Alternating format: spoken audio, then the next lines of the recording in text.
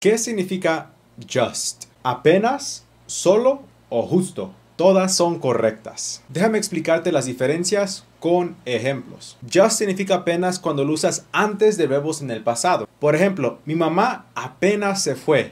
My mom just left. Just también significa solo y lo puedes usar antes de cualquier verbo o sustantivo. Por ejemplo, solo quiero dos tacos. I just want two tacos. Solo son dos tacos. They're just two tacos. Y just significa justo cuando lo usas como adjetivo. Fue un castigo justo. It was a just punishment.